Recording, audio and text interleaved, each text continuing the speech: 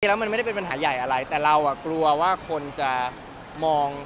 เราหรือว่ามองงานของเราอะไม่ดีหรือกลัวเขาจะดูงานเราไม่เหมือนเดิม เราเลยต้องอธิบาย เพราะว่าเข้าใจทุกคนมากๆว่ามันก็มีโอกาสที่ภาพในช่วงวินาทีสั้น ๆ ที่มันถูกตัดต่อถูกยืดถูกอะไรอย่างเงี้ยมาแค่นะโมเมนต์จังหวะนั้นมันอาจทำให้คนเข้าใจผิดได้ เรารู้สึกว่ามันไม่ใช่การเคลียร์ดราม่าหรืออะไรนะมันคือการอธิบายในมุมของเรา แล้วก็อธิบแล้วก็โชคดีที่แบบเออเจอกับหลิงหลิงพอดีในวันนั้น แล้วก็ได้มีการพูดคุยกัน ก็ถ้าถามผมผมว่า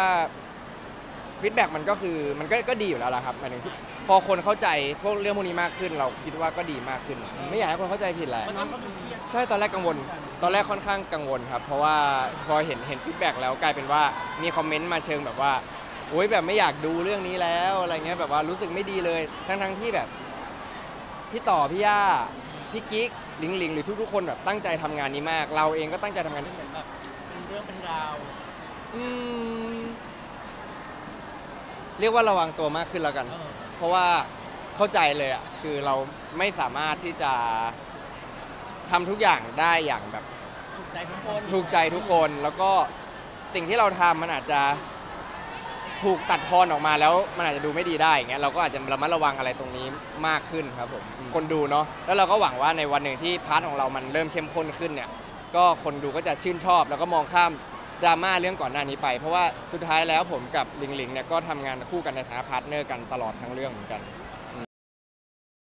เป็นไงบ้างกับ feedback ที่มันกลับมา เอาหลังจากที่เริ่มแบบให้สัมภาษณ์ไปมันมันโอเคขึ้นไหมพี่มีนคือ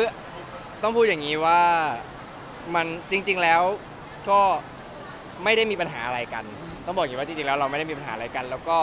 ตอนแรกที่เห็น feedback ตั้งแต่แรกที่เราคุยกันตั้งแต่ในวงวงเล็กตอนนั้นอะว่า ว่าเออใช้ว่าอะไรดีจริงๆแล้วมันไม่ได้เป็นปัญหาใหญ่อะไร แต่เราอะกลัวว่าคนจะมอง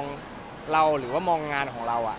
ไม่ดีหรือกลัวเขาจะดูงานเราไม่เหมือนเดิม เราเลยต้องอธิบาย เพราะว่าเข้าใจทุกคนมากๆว่ามันก็มีโอกาสที่ภาพในช่วงวินาทีสั้น ๆ ที่มันถูก ตัดต่อถูกยืดถูกอะไรอย่างเงี้ยมาแค่นะ moment จังหวะนั้นมันอาจทำให้คนเข้าใจผิดได้ เราก็เลยแค่ เรารู้สึกว่ามันไม่ใช่การเคลียร์ดราม่าหรืออะไรนะ มันคือการอธิบายในมุมของเราเออแล้วก็อธิบแล้วก็โชคดีที่แบบเออเจอกับหลิงหลิงพอดีในวันนั้น แล้วก็ได้มีการพูดคุยกันก็ ถ้าถามผมผมว่า feedback มันก็คือมันก็ก็ดีอยู่แล้วล่ะครับหมายถึงพอคนเข้าใจพวกเรื่องพวกนี้มากขึ้น เราคิดว่าก็ดีมากขึ้น ไม่อยากให้คนเข้าใจผิดแหละ มันต้องดูเครียดมากเลยนะ ใช่ครับ ใช่ใช่เราก็แบบ เกรงใจเขาเหมือนกันนะ ตอนที่ตอนที่หลิงหลิงทักมา พอหลิงหลิงเห็นเรื่องพวกนี้หลิงหลิงก็ทักมาคุยกับเราอย่างเงี้ยเราบอกว่าเฮ้ยแบบจริงๆแล้วมันมันไม่ใช่ความผิดของหลิงหลิงแล้วก็ไม่ใช่ความผิดของใครเลยนะ มันอยู่ที่มุมมองหรือว่าอยู่ที่เรื่องราวที่มันถูกถ่ายทอดออกไปแค่นั้นมากกว่า เราก็แต่เราบอกว่าที่เราต้องพิมพ์ X หรือว่าอะไรออกไปอย่างเงี้ยเพราะว่าเราป้องกันการเข้าใจผิด จริง ๆ เราเราไม่อยากให้คนเข้าใจผิดจริงๆมันยังมีมุมคนที่แบบยังไม่เข้าใจไหมยังแบบไม่เก็ตเออคือเท่าที่เห็นก็ก็อาจจะมีแหละครับ ในแบบสมมติแบบใน Facebook หรือในอะไรที่มันแบบพอมันพอเราพอเราดู มันก็จะเด้งขึ้นมาใหม่อะไรอย่างเงี้ยใช่ไหมก็เขาอาจจะยังไม่ไม่ได้เห็นบทสัมภาษณ์ เราไม่ได้เห็นว่าเรา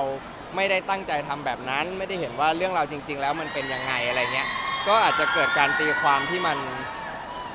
เป็นแบบเขาไปได้ก็ก็ ก็หวังว่าจะเห็นคลิปนี้แล้วกันครับเออคิดว่ามันจะมีถึงตัวละครนี้ด้วยความที่ตัวละครเราใช่ตอนแรกกังวล ตอนแรกค่อนข้างกังวลครับ เพราะว่าพอเห็นเห็นฟีดแบ็กแล้วกลายเป็นว่ามีคอมเมนต์มาเชิงแบบว่าโอ๊ยแบบไม่อยากดูเรื่องนี้แล้วอะไรเงี้ยแบบว่ารู้สึกไม่ดีเลย ทั้งทั้งๆที่แบบพี่ต่อพี่ย่าพี่กิ๊กลิงลิงหรือทุกๆคนแบบตั้งใจทำงานนี้มาก เราเองก็ตั้งใจทำงานแล้วเราก็ดูงานแล้วเราก็อุ้ยทุกคนแบบเล่นดีทุกคนสนุกกับงานมากเงี้ยแต่เราก็ไม่อยากให้งานนี้มาเสียเพราะเรานะ เออเราก็ การที่ถ้าเราเงียบไปแล้วเขาคิดแบบนั้นขึ้นมาจริงๆอะแต่อย่างน้อยการที่เราได้อธิบายแล้ว 10 คนเข้าใจเราสัก 7 คน 8 คนอย่างเงี้ยมันก็ดีกว่าครับดีกว่าไม่พูดเลยเลยนะแต่ว่าทำเรานอยไปเลยอะพี่มีนเพราะว่ามันกลายเป็นเหมือนแบบเป็นเรื่องเป็นราว อืมเรียกว่าระวังตัวมากขึ้นแล้วกัน เออ เพราะว่าเข้าใจเลยอะคือเราไม่สามารถที่จะทำทุกอย่างได้อย่างแบบ ถูกใจทุกคนถูกใจทุกคนแล้วก็ สิ่งที่เราทำมันอาจจะ